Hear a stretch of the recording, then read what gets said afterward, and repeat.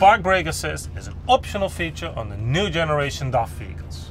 This feature further improves the park brake capabilities of your vehicle. This option can be very useful for recovery vehicles and impact protection vehicles, for example. Park Brake Assist can only be activated when the park brake is applied. When the park brake is not applied, a message will be displayed. When the park brake assist switch is pressed when the park brake is applied, the service brake will be activated on all axles instead of the driven axles only. You can increase the brake performance even further by pressing the brake pedal.